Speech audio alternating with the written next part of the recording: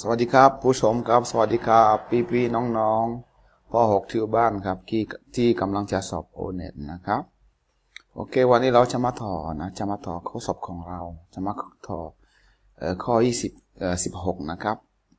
แต่ว่าก่อนจะต่อนะ เราจะมาดูคำศัพท์เกี่ยวกับวันเด็กนะ เพราะว่าวันนี้เป็นวันเสาร์นะ เราจะมาดูคำศัพท์เกี่ยวกับวันเด็กครับ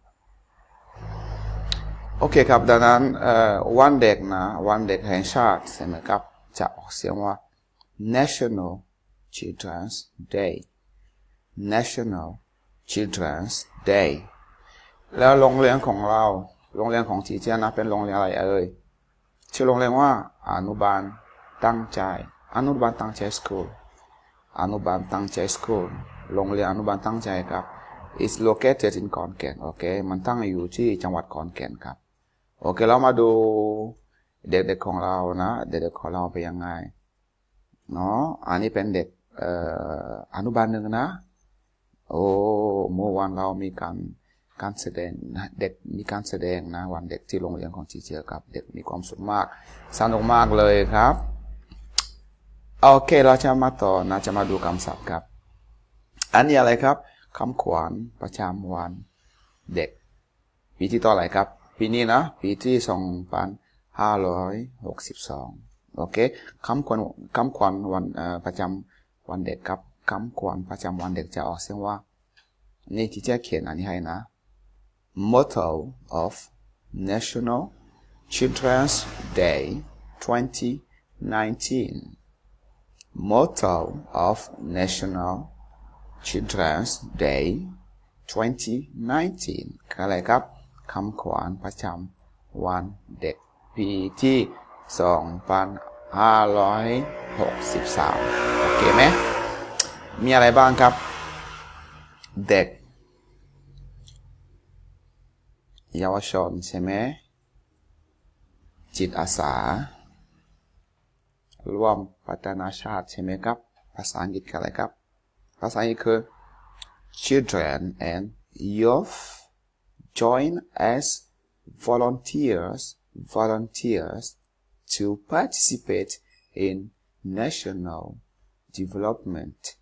development ใช่ไหมครับ นี่ โอเค ถ้าจะถามว่า คุณจะทำอะไรในวันเด็กแห่งชาติครับ What are you going to do on National Children's Day หรือถ้าออกเสียงเหมือน เหมือนคนอเมริกาจะออกเสียงว่า What you gonna to do What you gonna to do on National Children's Day What you gonna do on National Children's Day What are you going to do on National Children's Day แล้วคุณจะทำอะไรในวันเด็กแห่งชาติครับ ในวันหยุดนะ โอเค แล้วถ้าเรามีลูกแล้วก็จะถามว่า Where are you going to take your kid to หรือ Where will you take your kid to Where are you going to go with your kids ก็ได้ คุณจะพาลูก ไปเที่ยวที่ไหนกันโอเคเก่งมาสำหรับทีเจอร์นะอืม I will stay home ทีเจอร์จะอยู่บ้าน I will stay home yes I will stay home ทีเจอร์จะอยู่บ้านนะครับโอเคเราจะมาต่อโอเน็ตของเรานะครับ โอเค เรากลับมาดูข้อสอบโอเน็ตของเรานะ ข้อ 16 นะ มันเขียนว่า which of the following is correct which of the following is correct ใช่ไหมครับ คือตัวเลือกเหล่านี้ครับ ตัวเลือกเหล่านี้นะครับเอ่อตัวไหนที่ถูกต้อง ข้อไหนที่ถูกต้องใช่ไหมครับ เราจะมี เราสังเกตว่าเรามีอะไรครับ เรามีคำว่าแกน แกนเป็น modular verb เป็นกริยาช่วย โครงสร้าง อันนี้เป็นประโยคอะไรครับ เป็นประโยคบอกเราใช่ไหมครับ ดังนั้นโครงสร้างของประโยคบอกเราจะมีแกนครับ ต้องมีอะไรครับ ประธานบวกด้วยอะไรครับ แกน แล้วก็ทำด้วยอะไรครับทำด้วยกริยาหลักครับ ซึ่งที่นี่กริยาหลักอะไรครับกริยาหลักคือ hear hear คือคำว่าอะไรครับได้ยินครับ แล้วก็ทำด้วยกรรมกรรมอยู่ที่นี่ครับกรรมอยู่ข้างหน้ากริยาหลักครับ แสดงว่ามันเป็นคำศัพท์ที่วางปิดครับ ไม่ควรจะตอบข้อนี้ครับ you can me hear ฟังยังไงครับแปลกไหมฟังแปลกนะ ข้อสอง you hear me can ก็เหมือนกัน เอา can มาลงท้ายได้ไหม ไม่ได้ครับ เพราะอะไรครับ เพราะว่ามันเป็นกริยาช่วย ข้อ 2 ไม่ได้ครับ ข้อ 3 can me hear you อันนี้คืออะไรครับ อันนี้เป็น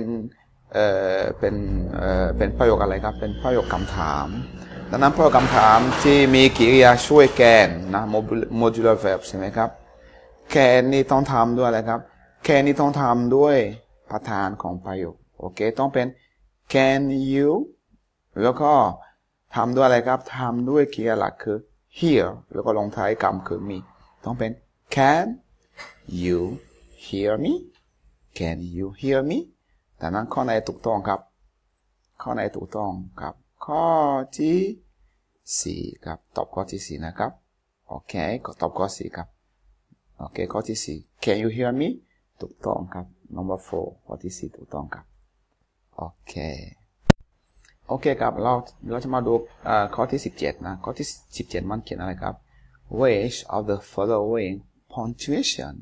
punctuation นี่มาถึงอะไรครับ เครื่องหมาย เครื่องหมาย เครื่องหมายนี่ที่ลงท้ายกับอะไรครับ question mark ใช่ไหมครับ เครื่องหมายคำถาม โอเค which which of the following punctuation mark is not not correct not correct มาถึงอะไรครับ ไม่ถูกต้องครับ โอเค ไม่ถูกต้อง โอเค เราเรามาดูนะเรามาดู ข้อหนึ่งคืออะไรครับ how are you how are you เข้ามาในถูกไหม ถูกต้องครับ คุณสบายดีหรือเปล่า ข้อสอง how do you do how do you do คืออะไรครับ เอ่อ ถ้าเป็นครั้งแรกที่เราไม่เคยเจอนะไม่รู้จักกันอาจจะใช้คำว่า how do you do how do you do นี่ไม่ไม่ถึงอะไรครับไม่ถึงว่าสวัสดีแต่ถ้าเรารู้จักเลยว่าครับ how do you do คืออะครับเธอสบายดีไหมก็เหมือนกันเครื่องหมายนี้ถูกต้องครับ ข้อสามนี่คือ how did you get here how did you get here คืออะไรครับเอ่อคุณคุณมาถึงที่นี่ คุณมาถึงที่นี่ได้ยังไงครับ คุณมาถึงที่นี่ได้ยังไงใช่ไหมครับ how did you get here คุณมาถึงที่นี่ได้ยังไงครับ โครงสร้างก็ถูกครับ พอหลังจาก how นี่หลังจาก how เรามีกิริยาช่วยใช่ไหมครับ are do did ตัวดูข้อสี่ครับ how beautiful you are อันนี้มันเป็นมันแสดงอะไรครับ มันเป็นมันเป็นมันมันเป็นคำชมนะ มันเป็นคำชมมันมันมันมันบอกอะไรครับเอ่อมันเป็นคำชมนะ มันแสดงคำชมครับคืออะไรครับ คุณคุณสวยจังเลย ไม่ใช่คำถาม มันเป็นคำชม how beautiful you are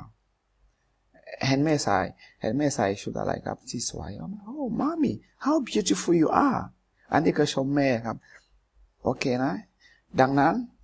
วางเครื่องหมายนี้ครับวางเครื่องหมายคำถามนี้ได้ไหมไม่ได้ครับ เพราะมันไม่ใช่คำถาม มันไม่ใช่คำถามนะครับ มันเป็นความเชิงชอบครับโอเค มันเป็นคำมาสัจจันนะ มันเป็นความชอบครับดังนั้นถ้าเราลงท้ายเครื่องหมายนี่ครับ มันไม่มัน มันปิดที่ครับ มันปิดที่นะ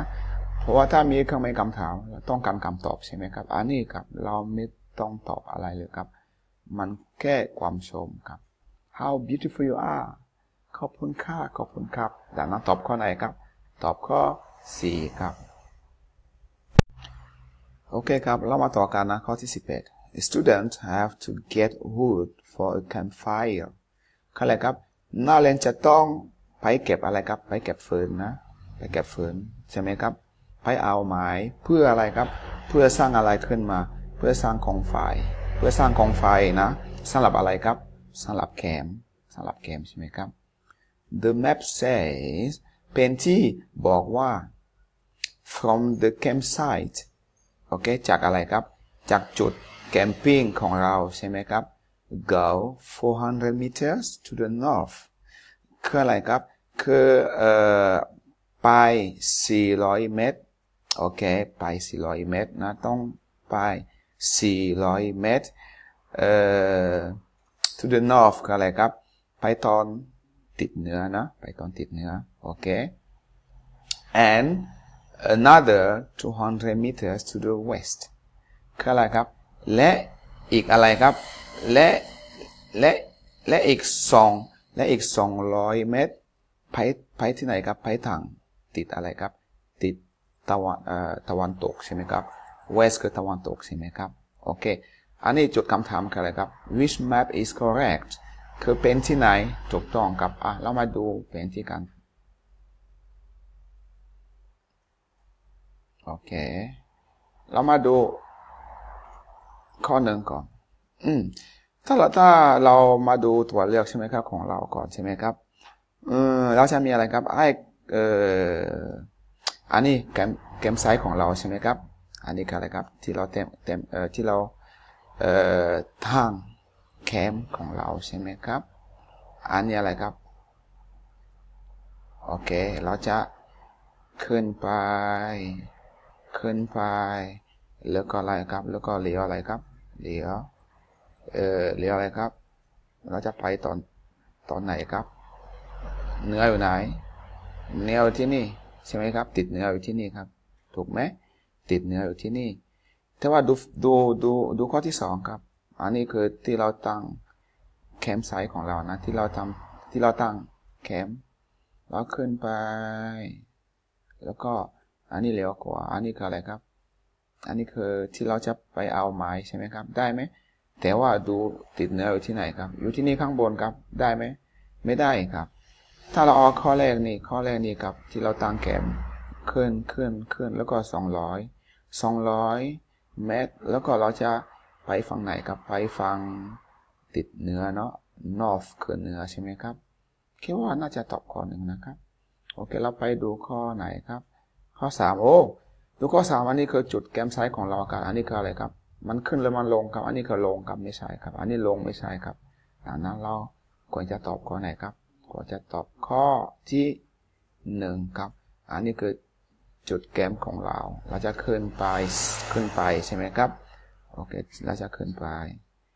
400 เมตร แล้วก็เราจะไปอีก 200 เมตร เราจะไปถึงไหนครับ ติดเหนือ ติดเหนือใช่ไหมครับ จะมี จะมีหูดกับอะไรครับไม้เนาะ คิดว่าตอบข้อหนึ่งครับ เห็นไหมโอเคโอเคครับ เรามาต่อข้อ19ใช่ไหม look at the table look at the table student favorite pet โอเคดูตารางนี้ครับเกิดอะไรขึ้น ตารางนี้เชื่อว่ามีเชื่อว่าอะไรครับ student favorite pet คืออะไรครับ คือสัตว์เลี้ยงตัวโปรดของนักเรียนครับ โอเค เราสังเกตอะไรครับ มีอะไรครับ มีชื่อของสัตว์เลี้ยงต่างๆ ใช่ไหมครับ แล้วก็มีจำนวนของเด็กที่ชอบสัตว์เลี้ยงเหล่านี้ใช่ไหมครับ ดังนั้น ก็เขาถามว่าทัวเรียกไหน ทัวเรียกไหน ใช่ไหมครับ โอเค ทัวเรียกไหน ทัวเรียกไหนถูกต้อง correct อันนี้เขียนว่า none of the student like dogs คืออะไรครับ ไม่มีใคร ไม่มีนักเรียนคนไหนครับเลยนะจันบรรดาครับ ไม่มี ไม่มี ไม่มีใครเลยจากบรรดานักเรียนครับที่ชอบสุนัข ได้ไหม เรามาดูสุนัขครับ สุนัข